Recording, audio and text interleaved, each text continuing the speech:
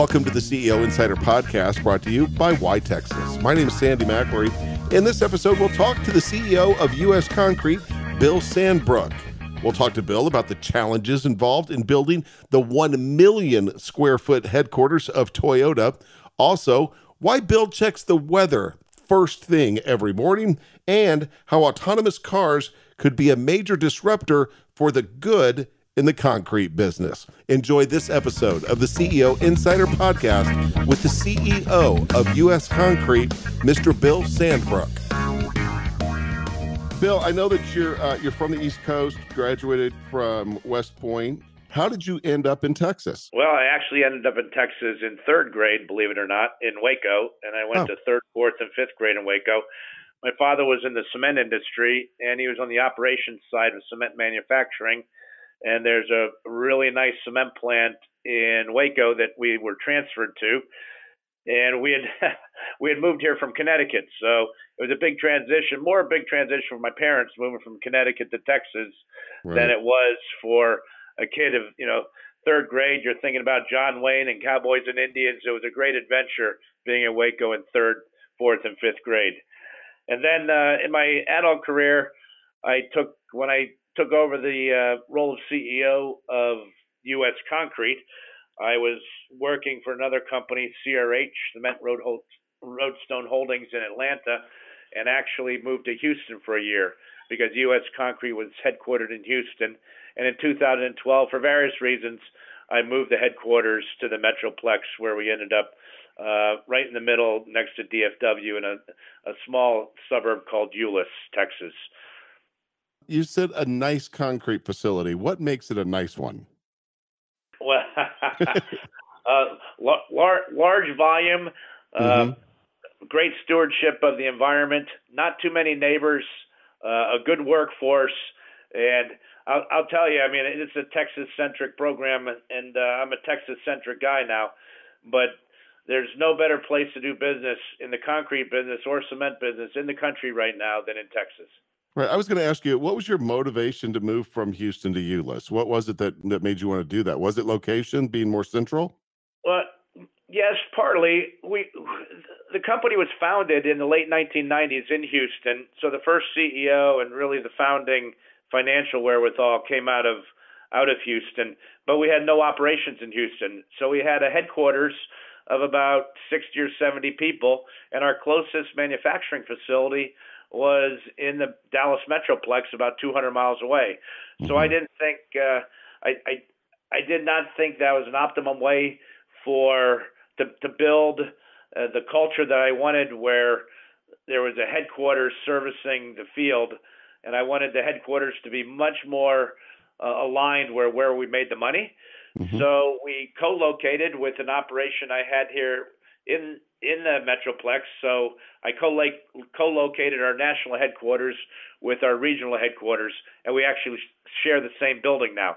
So my my uh, corporate staff at the national level are much more connected to the business here in Dallas than they were in Houston taking a look around the state with Texas booming, um, construction everywhere, I'm going to go ahead and guess that business is pretty good. Business is really good in Texas. What we need is better weather. Oh, are you saying because of the wet weather that we've had, or the cold? Absolutely. Or the, yeah. No, the, the uh, 2018 being an awful wet year, record record rainfall in in many parts of the state. In Dallas, we had records in March, we had records in September, we had records in October. And in, in Texas, we have a lot of low rise construction as opposed to high rise construction. While we have some in the metropolitan areas, we have a, a large rural footprint in Texas as well. And in a metroplex, for instance, we have a lot of slab work for warehouses and data centers. So when it rains, you you don't necessarily have access to that job site for a number of days. So you not not only lose the day of the bad weather, but then a couple days after that you can't produce any uh, concrete. I know all about uh, working with concrete in the rain. When I was in college, uh, I worked construction for a company in Omaha, Nebraska called Hawkins Construction, and I willed concrete all summer long for four years, and that is very humbling, hard work. And when the, when it doesn't when it rains and you don't you don't get paid, So I did. It, I always I checked the weather forecast every single day when I was a kid. I still do today. So I'm guessing that you first thing you do is look at the weather every morning. I look at the weather every morning, but we have a lot of business outside of Texas. But I want to go back to something you just said that when it rained, you didn't get paid.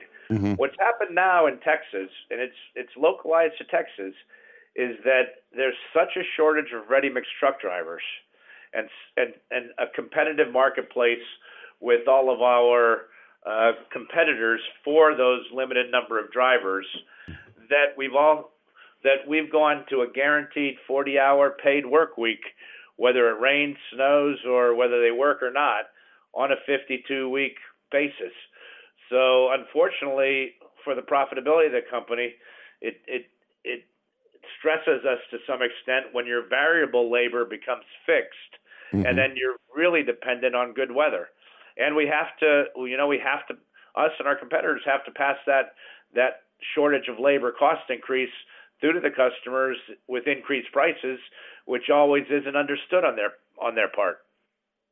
That well, that that is stressful. I mean, you're paying people whether they're if they're not working. That that's stressful.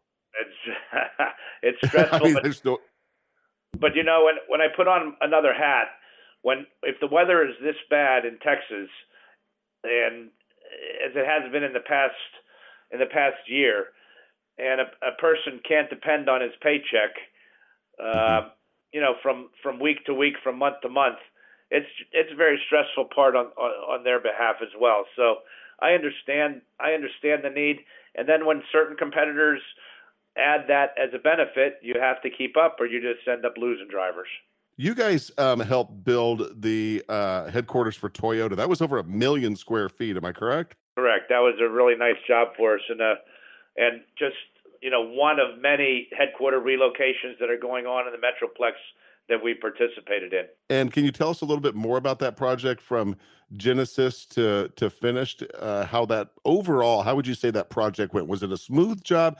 Was it tough? Was it have its struggles that, that you expected, or or more? I would say it had its struggles at the beginning, as any large job does, as the the contractor gets used to you and you get used to the service needs of of the job. Uh, we ended up treating that obviously with kids glove because it was so large. Put a project manager on the job because it warranted it. But even leading up to the time that we were awarded that job, we brought in our, our California team. We have a large business in California and New York, but our California team uh, just because the way the I would say the culture is, it's much more environmentally sensitive in California. I mean, mm-hmm. it's a much greener environment, uh, and I, I would say it's much more in the forefront of all business decisions. So we've developed special techniques and special products to minimize the carbon footprint of our products and that sales team and that management team in California is more tuned into that type of selling uh, attribute than, say, a normal Texas project manager or manager uh, with my company would be. So we married up the two teams on our approach to Toyota uh, when we were selling ourselves as the preferred concrete supplier. So it gave us, I think, a, a leg up on the other competitors within our local uh, local market here that we could add uh, something that maybe the the more Texas centric concrete customer or concrete companies couldn't. So it was a very unique, you know, merging of our national capabilities to to win that project. Bill, can you give us an idea? You talk about your carbon footprint uh, when pouring concrete, working with concrete. What was going on? If there's one simple example you could use for a guy like me or anyone else listening doesn't know a whole lot about concrete. Can you tell us what was in concrete or going on 30 years ago that's different now?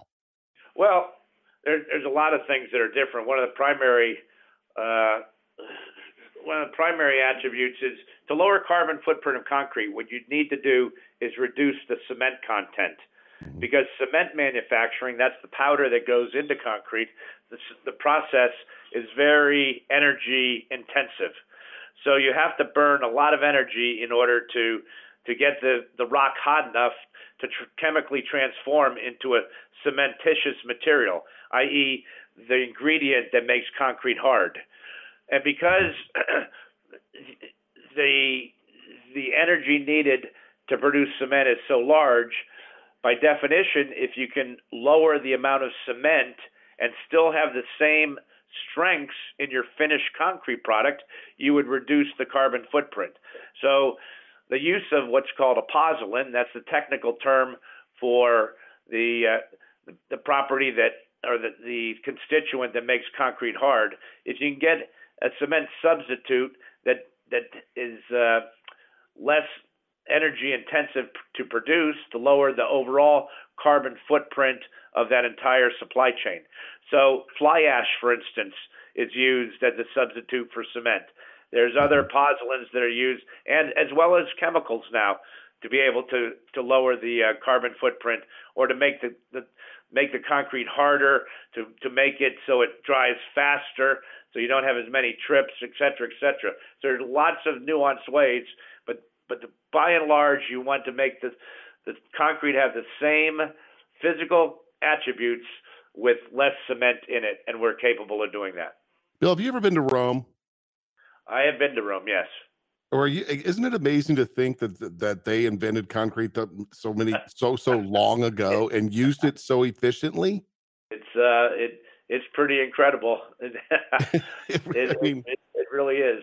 yeah, it's absolutely incredible. So the, going back to the Toyota project, that was that ended up being bigger than you guys had originally anticipated, correct?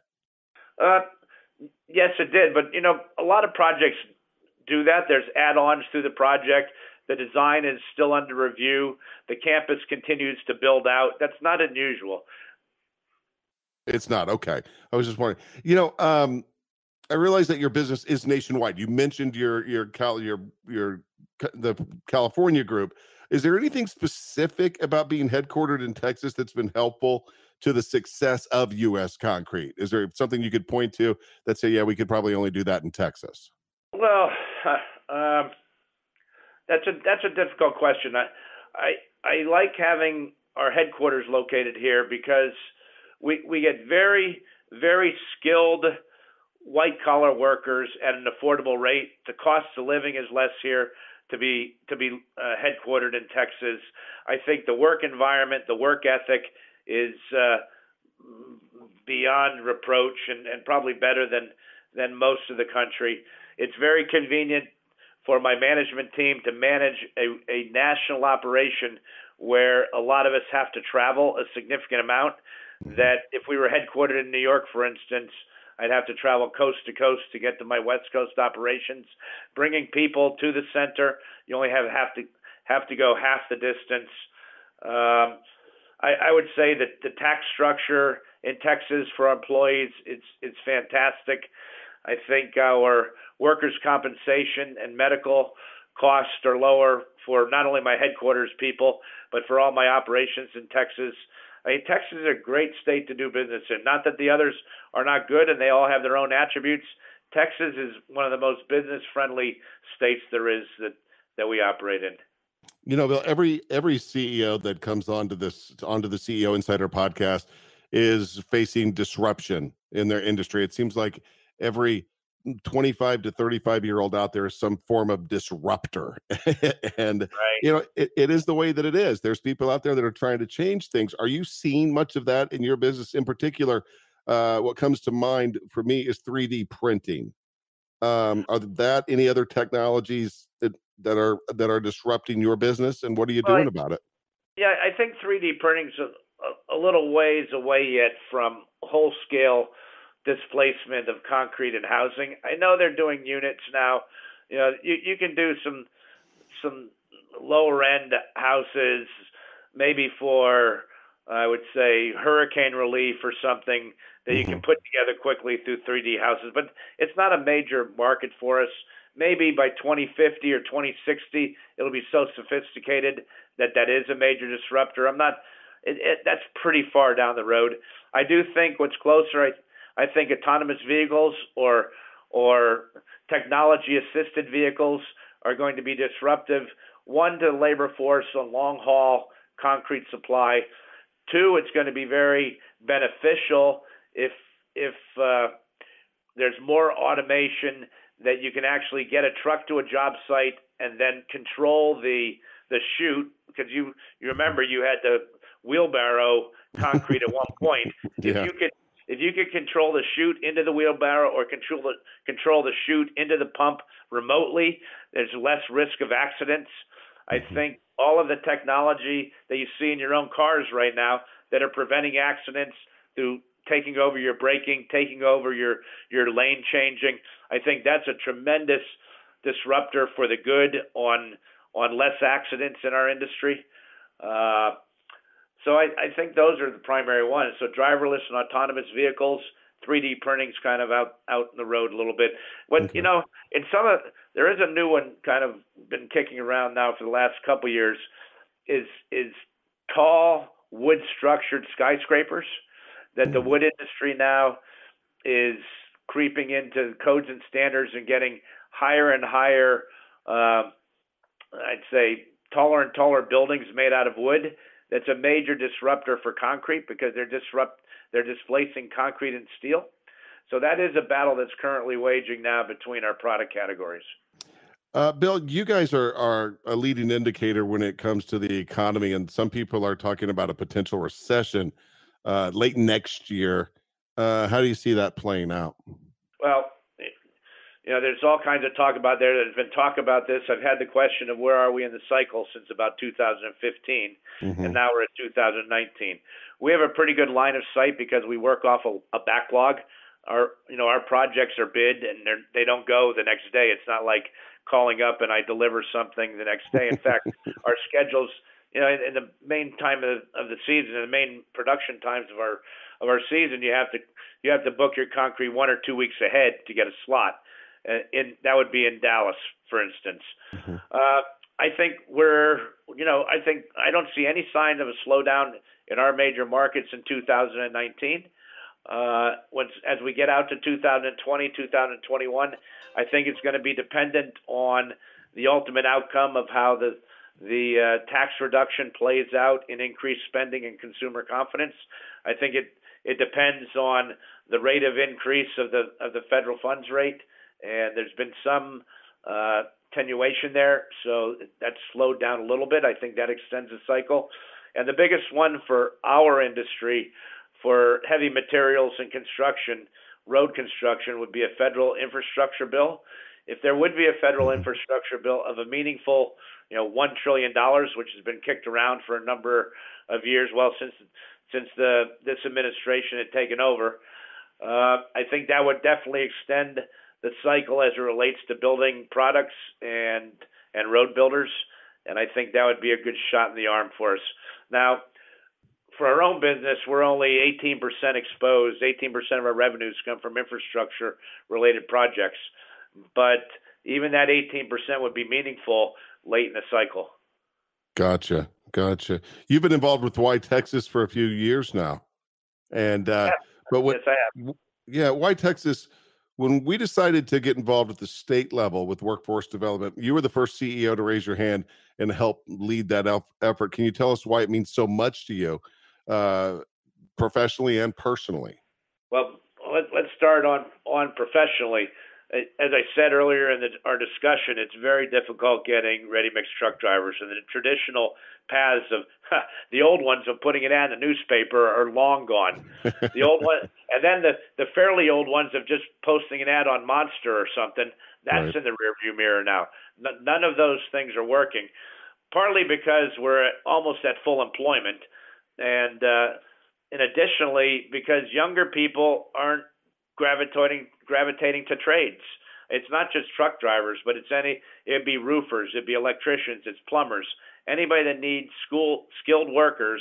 The uh, the, the traditional vote technical education that was around when I was in high school, you know, 40 years ago, just isn't an attractive approach. Everybody wants to be a website designer or right, right. internet or they want to be a disruptor and you know th- this is not an easy job it's a it's a fulfilling and a, a and a, a well paying job but it's not one that kids gravitate to so you know those type of challenges and then the other challenges of just getting young people into into construction or into brick and mortar industry you know in outside of the trades, even into the white collar work. You know, guys want to go on and be a hedge fund manager. They want to be right. an investment banker. You know, they don't want to come out and be a you know a financial analyst in a concrete company. You know, there's no fun in that. Little they know that you know if you can find your passion in these type of out of favor businesses, you can have a wonderful career. And if you're if you're sharp and a go-getter, you can far you can advance much more quickly here than if you go to Wall Street or San Francisco. And this seems to what you just said seems to really play into the offer that you made to the Dallas Community College District that would help them train and prepare people ready to take jobs with you. That, that's what we're trying to do. We're trying to invest in those local community colleges or local, uh, you know, trade trade schools with resources, with with people to help train, with ready mix trucks that they can they can drive and practice on. We're like I said, the days of a newspaper ad, a radio ad, or a monster ad are long gone. We have to be very much more proactive in this now. You said something earlier. We, were, we talked about how that you know working for a concrete company is not real attractive. People don't gravitate toward that. People, young people, are not learning a trade. And I remember during the presidential election, Marco Rubio said something that stuck with me. He said, uh, "We need uh, less philosophers and more plumbers." and I can add I could add ten other job categories to that. yeah, I, what's it's interesting. You know, I'm 50 years old, but when I was a kid, that was a good job working for a concrete company. It really sure. was. I mean, me and my buddies, like you had to have a friend that had a friend or a dad or someone that could get you on to get a job with that. I can remember that same way in quarries uh, because they were high paying jobs. You got to work outside. You were young you know, yeah. and it was embraced. But when you look at the entire, you know, the, the next generations, you don't, you just don't see the kids out playing ball anymore, or or doing the things that we did when when I was growing up, at least in Waco, Texas, in third grade. yeah, you know, I remember being at that age. All I wanted was a good car, and I knew if I worked my butt off all summer long, I might have enough money to, at least have the down payment for the car. It's it's I, really weird. I, I, I remember. Yeah, it's it's really really strange. Uh, let's talk. I'm a big uh, Formula One fan. Um, you know, we have. I'm here in Austin, Texas. We host the U.S. Grand Prix every year. You have an interesting relationship with one of the greatest drivers of all time, with Mario Andretti. Well, and we're we're involved in the uh, IndyCar series, uh-huh. and we are sponsoring Mario's grandson, Marco Andretti, in nine races, and we have the primary sponsorship of the Austin Indy race this spring as well. Uh, I'm going to be there drive, for that. Are you going to be here? I'll be there for sure. And uh, he drives the U.S. concrete car, and we use it as a great venue to bring our our most valuable customers to an inside look at IndyCar racing with mm-hmm. with tremendous amount of exposure over two to three days with the Andretti's and the Andretti family and the and the back scenes of IndyCar racing in the garage with the mechanics, with the driver, with the driver's crew chief, uh, and the Andretti's himself. And it's we we bring people from our local operations in Texas to Texas Motor Speedway. We'll do it in Austin. We did it in Long Beach, California, and Sonoma, California for our California operations. We do it at the Pocono 500 for our East Coast operations, and it's a tremendous experience that we offer to our most valuable customers. Boy, I'd love to see that uh, the grid here in Austin at the Circuit of the Americas. Let's have a ready mix concrete truck race. Let's get about well, ten of them. Ten of them out there. We had a ready mix truck parade at yeah. Texas Motor Speedway where we had 31 trucks in driving on the apron. They couldn't drive on the track because people don't realize how steeply banked those yeah. ovals, those tri-ovals are. But yeah. we had 31 ready mix trucks with an American flag and a Texan flag circle the uh, entire racetrack, and it was quite a sight to see. Oh, that's awesome! That is very cool. Well, maybe we'll bump into each other when you're down here for the Indy race. I would love That'd to. Great, Sandy. I, to I meet you. And I uh, I really appreciate uh, your time with us here on the CEO Insider Podcast. And uh, best of luck, and hopefully you'll have some dry days and get a lot of work done. All right, that's what I'm hoping for too. Thanks, Sandy. All right, buddy. Take care. Bye bye. Okay. All right. Bye bye.